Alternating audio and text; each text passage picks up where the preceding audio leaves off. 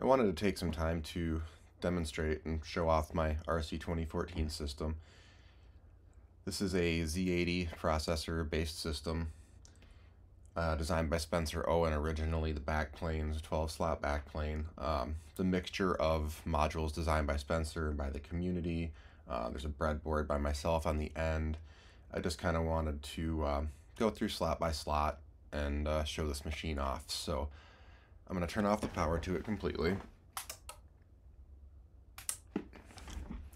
And when it turns on, the first thing you'll actually see is the terminal software. There's a, uh, a Pi Zero over here that just sits on the serial bus so that I don't have to connect a whole laptop to deal with the RC2014. So when you press reset for the system, now we're actually in the RC2014. And so right now this is actually the BIOS posting. Um, if I press 4, that's actually the slice, this disk 4 IDE 0 there, um, which is my compact flash card. Uh, so Slice 4 is the OS I usually use, uh, ZPM, similar to CP/M3. Boots you into a system directory, and then there aren't subdirectories in CP/M, but there are user areas. So if I go to a different user area, this one has all the root utilities. Um, you can see there's fdisk in there, text editors, um, some various other things, mbasics in there. So in my personal folder here, when I first started with the RC 2014, and I have to switch back to user area zero.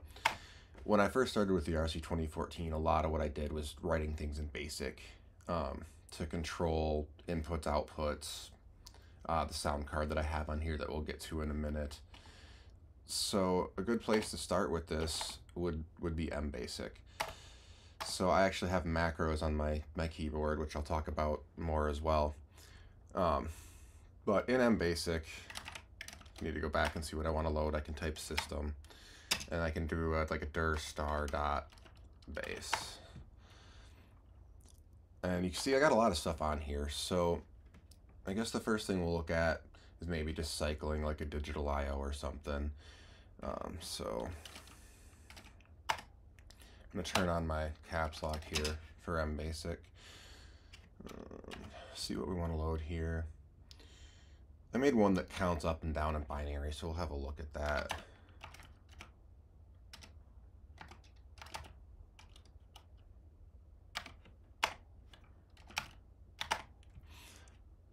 And so um, there's just a subroutine that stalls, and it's really all subroutines. And let's see if we're on, so this is on output zero, so this should actually cause the, um, the dot matrix display. Yep, and you can see it flash in there. So I can break on that, and then I also have a macro usually that will, yep, that will shut off those outputs and clear MBasic. So more interestingly though, let's see what I got on here. See if I have one mapped to my uh, to my relays.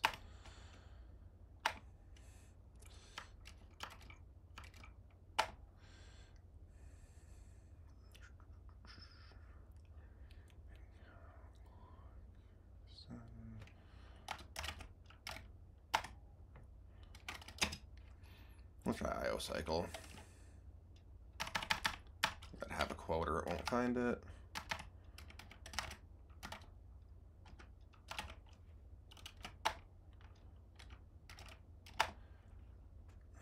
This is also out zero, um, but we can actually just edit this. So I want to change line 20 to use a different output. So I'll use output one and then two to the F and then also on line 60.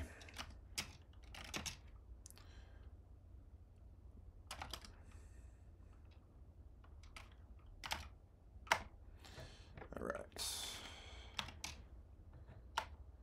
when I run this, you should actually hear a lot of clicking if I did it right. Yep.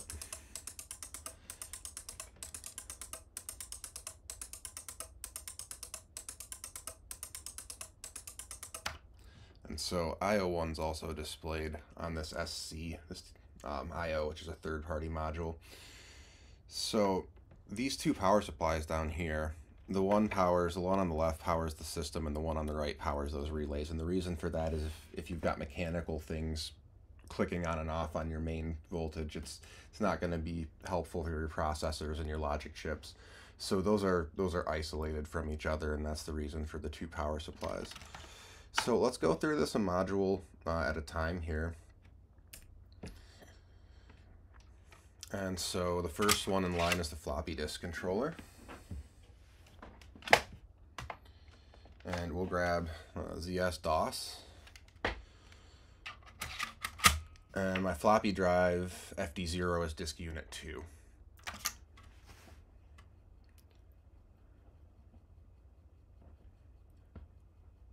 And it take, of course takes a minute longer than the compact flash, but in just a moment here we are booted from floppy. As you can see, it looks a bit different because it's a different operating system. The floppy controller is, is neat for one other reason. I'll boot back to my main operating system here, and it's, it's this quick. You just click reset and boot back. Um, this disk is labeled with FAT files on it, and it can actually transport back and forth between a modern USB floppy drive. And if I do FAT dir 2, which is the same unit we just booted from before we booted back to the CF, it will actually read that disk as a FAT formatted disk. Now, I can't just use those files from the command line. I have to use this same FAT utility to copy them into CP/M user space, but it's still super useful. I don't have to download files over like a serial connection. Uh, I can literally just download a file, copy it over USB to a floppy disk, and it's good to go. So next in line is a sound card. That's a really fun one. I've filled up one of the slices on the compact flash with just a bunch of music, and I would encourage you to check the other videos on my channel if you want to hear these in proper stereo because they are they're hard panned, they're hard separated left and right. But nonetheless, we'll go ahead and play a song here for a second.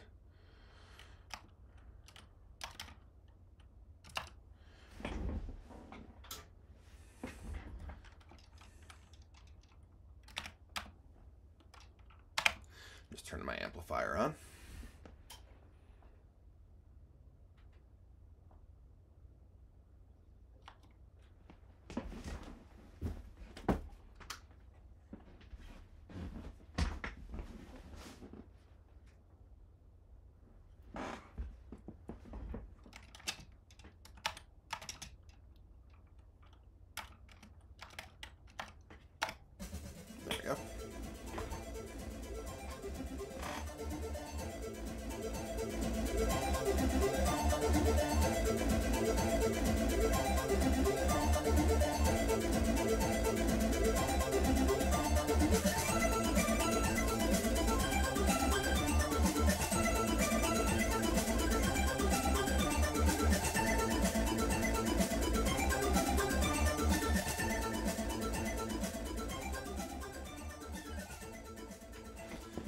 So the sound card uses a Yamaha YM2149 chip, and then the purple PCB on top of it is actually a separate oscillator that keeps it at the right frequency to play everything in tune. So that one was really fun. Uh, next in line, we have our dot matrix. So we'll run a quick demo on that. If I remember where I put it. There we go.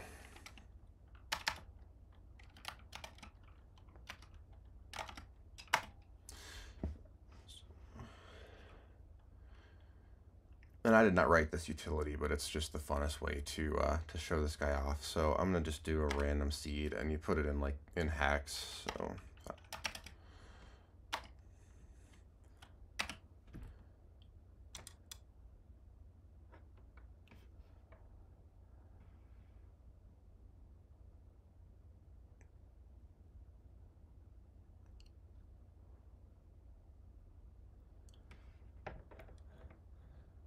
And it uses multiplexing uh, to accomplish this, which is a topic for another day. If you want to control it in MBasic, though, you can out like zero a value and then out two a value, and you'll actually get a matrix of your values. So pretty easy there. So we'll go ahead and just reboot. And the CF I don't really have to show off. The processor, of course, we've been using the whole time. The RAM ROM is interesting. It's 512K RAM, 512K ROM.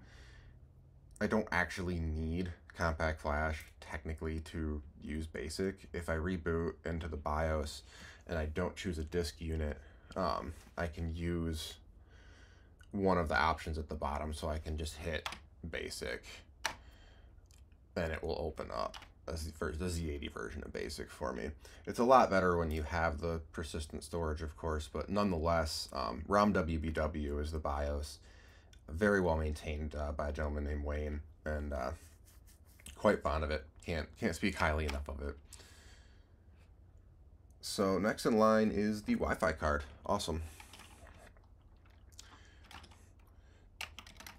So QTerm, um, it's just kind of like opening a uh, terminal on your computer, really.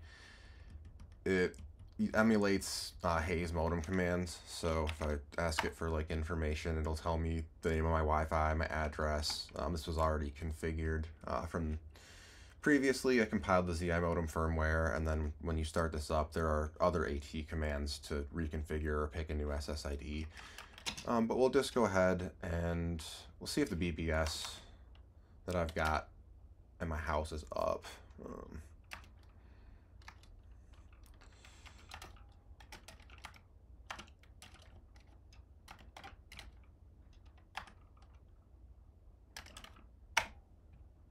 sweet. This doesn't have proper full ANSI support, but it's good enough that I'm going to use it for this um, this demonstration. So. Black and white, of course, works fine, um, but there's a couple reasons I want to do this. So I've installed actually a door game on here, or as a door game that is not a game, it's an IRC script uh, that allows me to connect right now to the AppleFritter um, IRC chat, uh, but I can configure what it, you know, what it connects me to.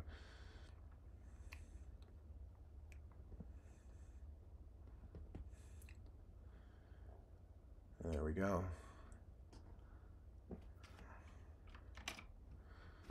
toggle names, and we are online. So we are right now, the full chain is that this Wi-Fi card is connected to my to my home Wi-Fi, of course. I'm connected to a BBS through that that is providing me access to IRC.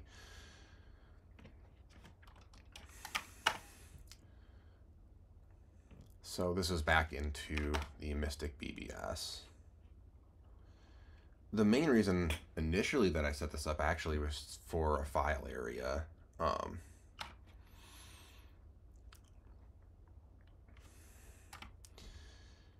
so you can see that uh, I did a mass upload of ProTracker tunes to my BBS, but it was much easier, inevitably in the end, to just use a floppy drive. Uh, but nonetheless, this was was pretty fun. So you can obviously connect to any um, any BBS that supports ASCII. ANSI is, is hit or miss, uh, but that's just due to the Pi graphics terminal limitations. It's not really um, an issue with the RC 2014 itself.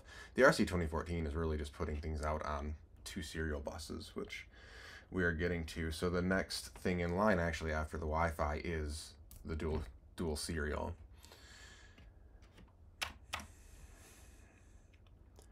And you see we actually got stuck in red when we disconnected. Um, I wrote a little basic script that just puts it back or resets the terminal so that you don't have to completely turn the computer off, but um, helps if you're on the right drive.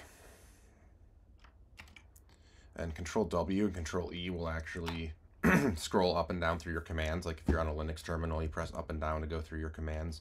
Same thing, I can go through my uh, my previous commands with that. So uh, now we're back uh, back in white terminal. So yeah, dual serial bus. the main serial bus is what's communicating with Pi graphics for graphics, and then with the keyboard adapter for input. So this keyboard adapter right here is taking input from the Commodore 64 keyboard, encoding it to serial at the correct baud rate, and then inputting it to the RC2014 on the main bus. The Wi-Fi card is on the second serial bus, and next to the dual clock module, this guy here, is a, or sorry, dual clock speed module next to the dual serial module.